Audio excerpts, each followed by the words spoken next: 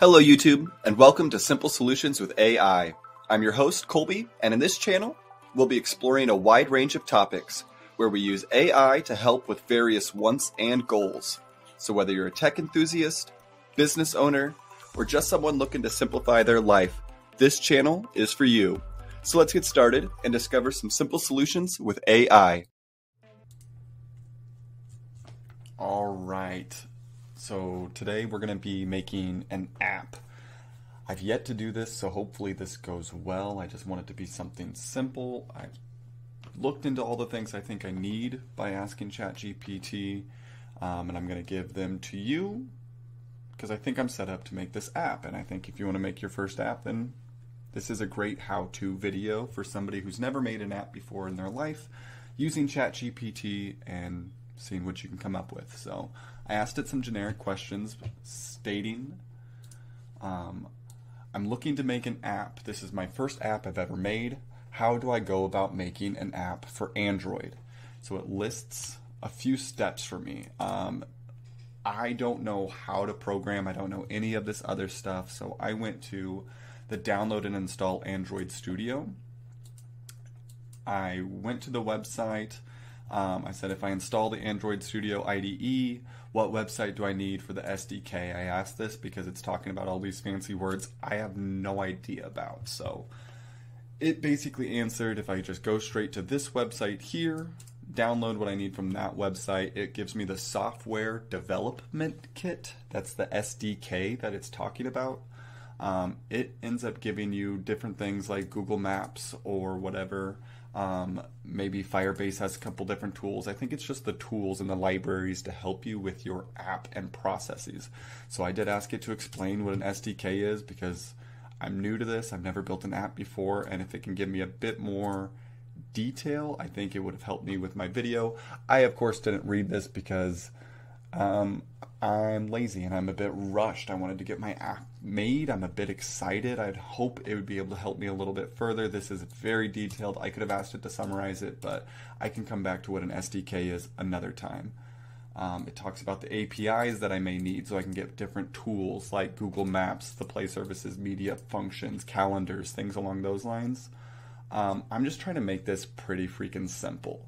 So if you want to add more APIs, from my understanding, this right here is what you need to get all the fun functions in an app to get a really advanced thing going. So we're going to go for simple now, but basically if you're going to do something a lot more in depth, look into the different APIs, download those, and move forward from there. Um, I'm just asking it something basic. With the program Android Studio, what app could I make without downloading or installing anything further? Just that alone, okay? So it says it's a pretty basic core SDK. Um, and you can actually do some simple stuff on here. So it's got a couple categories a simple calculator app, note taking app, to do list app. I've seen a lot of people make this video right here. So I don't want to do the to do list app. I've seen it, it's pretty simple.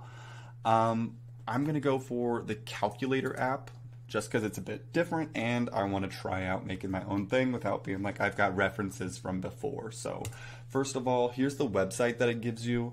I went straight to the website, copied the URL. It's also a hyperlink. If you just click on it from ChatGPT right here, it sends you to this website. You click that right there. It downloaded the first time I went through this, it also told me to download these from JavaScript. So, if you look here at this website, oracle.com slash java slash technology slash downloads.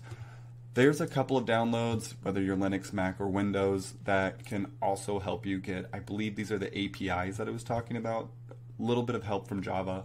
Um, that, or maybe if your Android Studio doesn't work, you need some of these JavaScripts for it to work on your computer. Now we need to do a new chat. We need to start our app function. We've done all the rest. We've asked it the questions. We know we want to make a calculator app.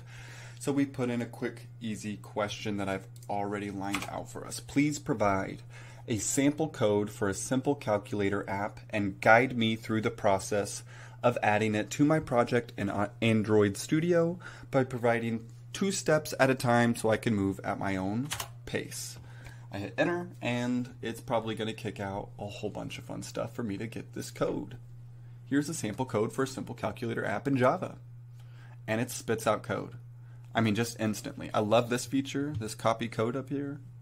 That's going to make that much easier, and hopefully it tells me exactly how to put this into Android Studio. I have it down here in the bottom, um, but my goodness, I would not want to type all this. If you've made a code be- or an app before, I suppose this looks familiar and probably very basic and simple.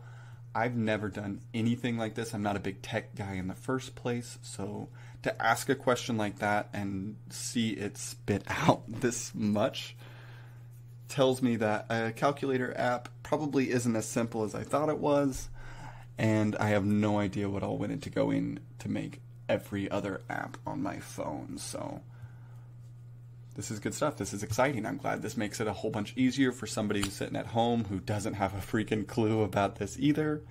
I hope this gives you some relief if you're making an app for your new job, whether it's mobile detailing or you're just trying to schedule stuff, you do Shopify things. I don't know what your business is at home. If you need a basic app idea, this has it. This does it. I mean, it's writing my whole code for me right now. I mean, this is just going. I'm, I'm assuming I will just copy and paste it over, so that's pretty exciting.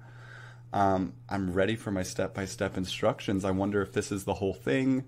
Um, okay, here it is. Create a new project in Android Studio and name it Simple Calculator. Do a new project. There's a whole bunch of little samples. They can give you some basic layouts, Google Maps, and activities. Um, so at this point, just click No Activity. This is what we're changing. Calculator app. Okay. Then I click Finish. Get off that. And this will load a little bit more. What was step two? Since it didn't finish loading. I think the first thing was just a bit too much for it, so it just froze up instead of finishing step two. But add the necessary UI elements such as edit text for the numbers, buttons for the operations, and text view for the results. Make sure to give these elements appropriate IDs so that they can be referenced in the main activity class code. You can add UI elements either by writing XML code manually or by using built-in drags. Okay, so the code above. What do I do with that? There.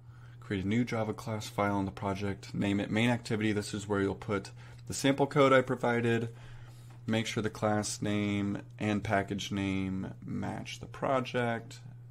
Add the necessary import statements to the top of the main activity class.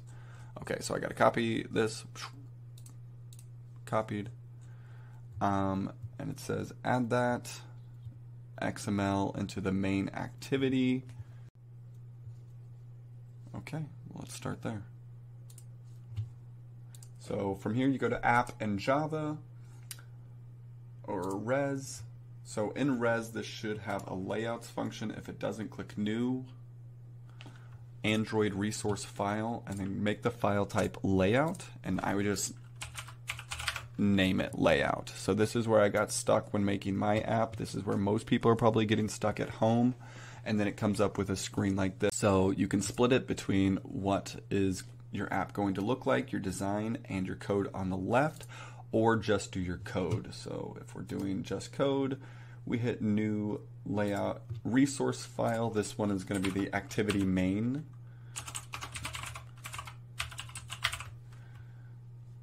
Okay. With the activity main, we go to the code, delete that, whoops, copy over it, and paste. And as you can see in this top right corner, we've got our check mark. There's no problems found. This is this is an app. This would make a calculator right here, right now. So if I click play, it's connected to my phone, which I should be able to show you I believe. Well, nice. Good. There's errors. We like that. So, if there's errors, when all in doubt, copy, put this in. I gave it this code, and it. Oh, we gotta put our code.